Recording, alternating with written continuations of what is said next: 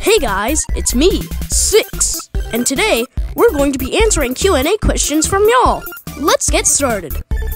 Chet and Sir Spanish Alphabet asks, 2.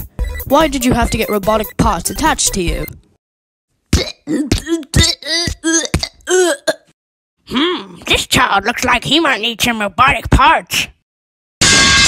Lucas Does Stuff asks, 19. How did you get so many eyes? Well, I ate a lot of carrots.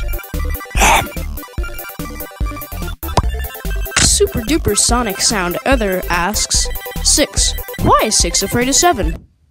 Oh no. Cause seven ain't Rick and Riley asks, 13. Why do you want to corrupt your solar system? Mel, Mel, Mel, L, L, L, L. Tilson Guitar Recordings asks, 7. Why did you take four grades of prisoners? Why can't the three of you work together? Uh, I guess cause 4 plus 3 equals 7?